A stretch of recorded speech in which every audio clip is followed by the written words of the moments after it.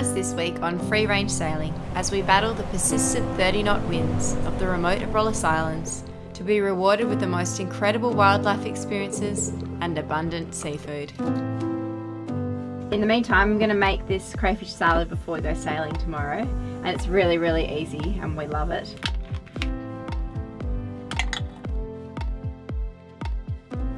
Welcome to Free Range Sailing. For those of you that are new here, I'm Pascale and this is Troy. For the last four years and 180 episodes, we've circumnavigated Australia, culminating with a very demanding year refitting our 1969 Australian built Clansman 30 sloop rigged yacht and sailing her across the Great Australian Bight. Now we've returned to our home state, we're taking the time to explore some of the places we didn't get the chance to see as much of before. Join us each week for more great sailing, fishing, and adventure as we cruise the West Australian coast.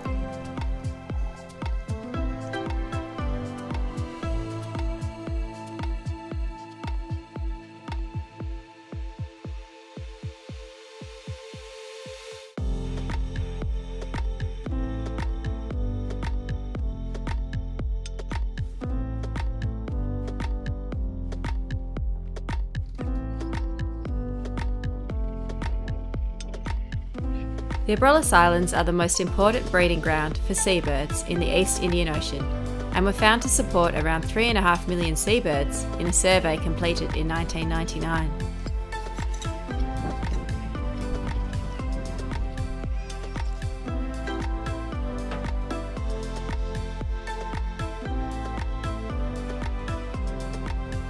This is the northernmost limit in Western Australia where you can find a breeding population of Australian sea lions.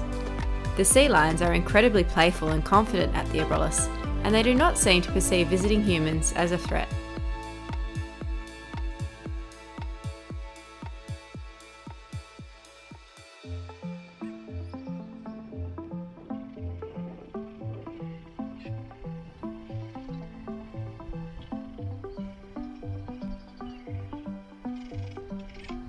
These lesser noddies are colonial birds, normally nesting in short trees and scrub.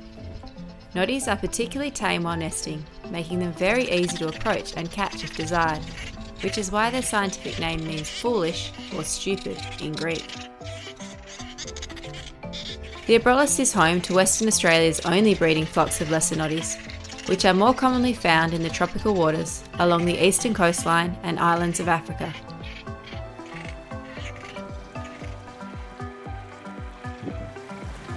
While the young sea lion we encountered earlier on at the island swam right up to us, we did keep our distance while watching this very content looking sea lion and her pup feeding.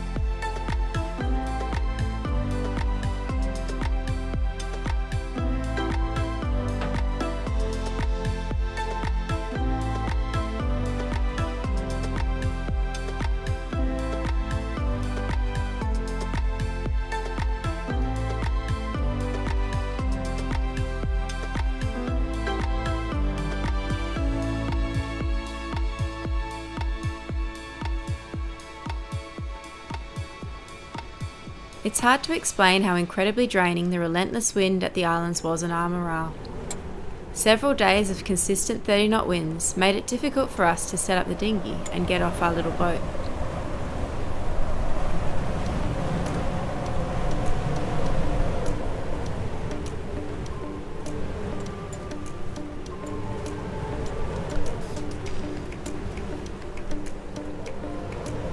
After days of being boat bound doing work and chores, we were motivated to get out again and have a look around at somewhere a little less windy.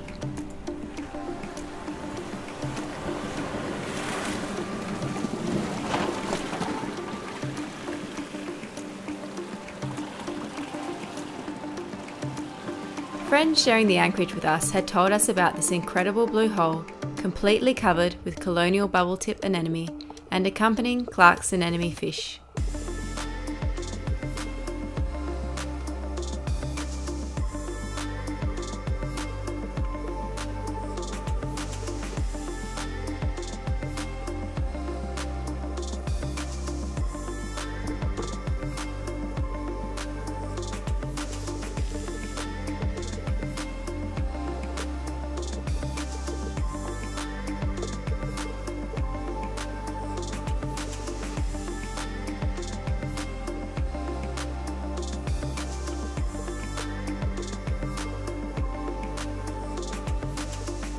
We were amazed by the scale of this anemone colony, literally covering the entire 4 metre deep hole, which was roughly the size of a squash court.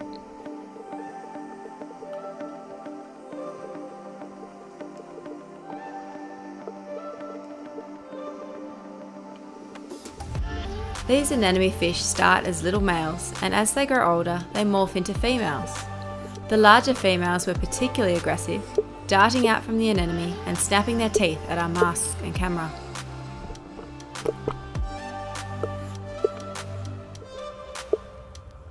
Clark's anemone fish are the most widely distributed species of clownfish, being found in tropical waters of both the Indian and Pacific Ocean. Of all the anemone fish, they are also the least fussy of which anemone they will live in, and have been found to live in up to 10 different species.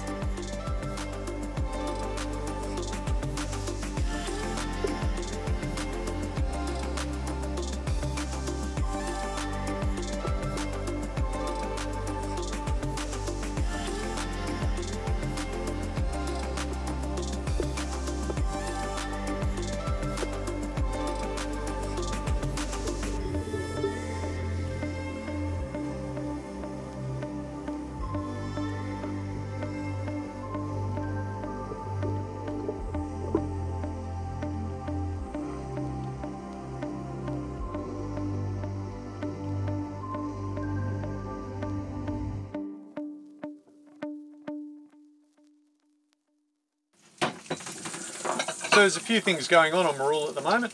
Um, you can hear some sizzling in the background and that's because we went and got some crayfish. Here's a shot of them sitting in our cockpit. so we did pretty good. Um, the bag limit here is eight and that's what we went and got because we're about to go down south. We're going to sail with the winds tomorrow on our beam, hopefully and get a spinnaker run down to Perth to go and spend Chrissy with our family. Um, the Pasky's got a great idea for some provisioning. Um, what do you call it for our A cold crayfish salad to have on the way down. cold crayfish salad? We'll show you how it's done.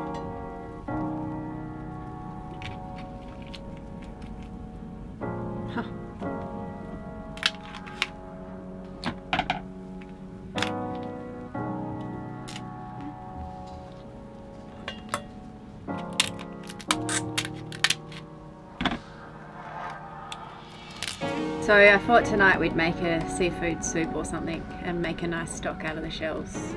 Especially those, what we'll do is we'll fry them up, like what we did in Tassie, we'll fry them up in a bit of butter and then um, just to brown the shells a bit more, get more flavour and then add water and pressure cook it for maybe 10 minutes. Make a really nice like lobster stock.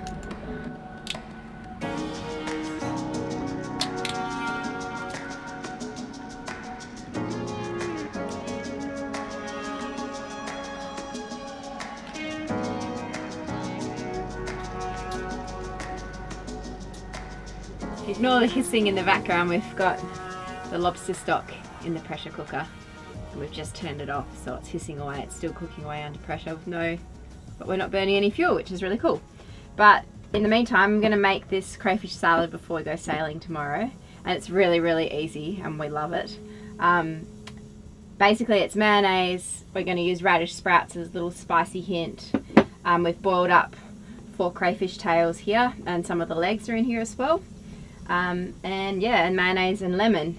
So we don't have any um, store-bought mayonnaise, and we have decided we started making our own now because we don't want to use have vegetable oil um, in anything that we eat anymore. So we started making our own using MCT oil, which is um, uh, it's the medium chain triglycerides from coconut oil. Don't ask me any more about it, but it's oil that's not um, most coconut oil is, is hard, but whereas this is runny, and you need a runny oil to make mayonnaise. We have used almond oil and that works really well, and macadamia oil and that works really well as well. And you can use olive oil, it's just that we're not really into the flavour of olive oil in mayonnaise. So, to make the mayonnaise, I'm just going to put a teaspoon of vinegar in here, one raw egg, some salt,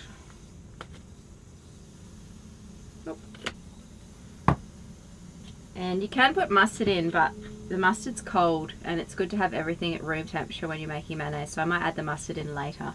So I'm just going to use my stick blender to mix that up.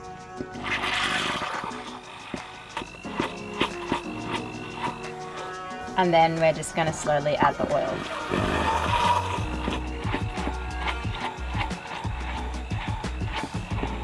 So it's starting to thicken quite quickly now and emulsify. I really like making mayo satisfying. The nice thing about this MCT oil is that it doesn't have a coconut flavour like the um, solid coconut oil that you probably know of. So it's really like neutral flavoured, it's really great for mayonnaise. Now that it has emulsified, I'm going to put a bit of mustard in so it shouldn't split now. And I'm going to put a little bit of lemon juice in as well. We can add more lemon juice to the salad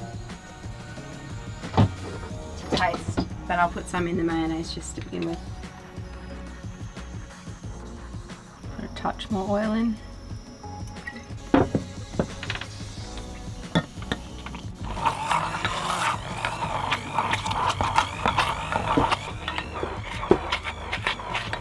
just going to taste it.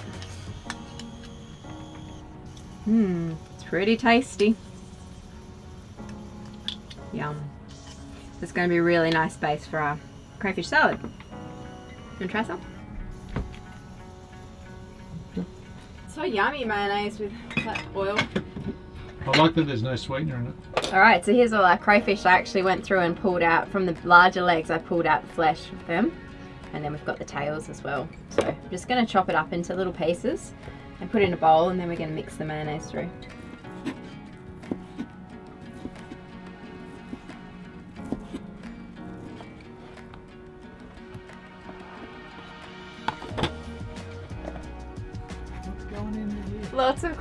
Black your favourite, Troy. Um, and then just we'll put some lemon juice on this crayfish now, and then we might put more on later. Ooh, there's cuts on my hands from catching the crayfish. it's stinging. So these are really peppery. Well, they basically taste like radish, but perhaps not as intense, but they're still pretty peppery. So I'm just to add like a few. Yeah, that's enough few little handfuls like that. Okay, so now we've got all the elements in here. Just have to add the mayonnaise. So how much was that? Two tablespoons. We'll see how it goes, so we might have to add more. So we made the radish sprouts ourselves. They're just radish seeds um, that are, yeah. Sprouted. Sprouted. These ones were sold as ones that you plant, but no problems with them. No fungicide on there? No fungicide on them, no. No, no, they were from an organic seed um, supplier in Queensland called Eden Seeds and they don't use any fungicide or anything like that on their seeds, so you can sprout them. And they do sell a lot of things as microgreens and sprouts as well. Mmm. It's really nice. Needs nothing more? Mmm. Maybe a little bit more lemon. This is our very last lemon. Time to sail on out of here. Mm. To the place where they've got lemons. That's a wrap. I'm just going to go into this container. I like these. These have a lid, but they're a little bit awkward to store as they're circular. Whereas square containers are a bit easier to store in the fridge. So I'll just transfer it. We got this from Kath. And they've been really useful, so thanks Kath. Collapsible Tupperware bowl.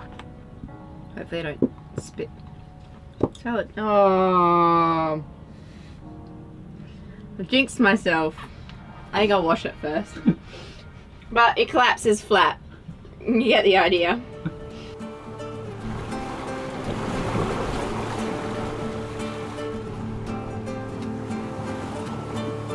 To serve the crayfish salad while underway, we placed each serving in a clamshell that we'd found on the beach. We chilled the shells in the fridge overnight so the salad stayed extra cool and it was every bit as delicious as it looks. Make sure you tune in next week as we sail to Rottnest Island and show you some of the both well known and lesser known attractions. Until then, thanks for watching and hitting the like button as it really helps to recommend our video to like minded viewers.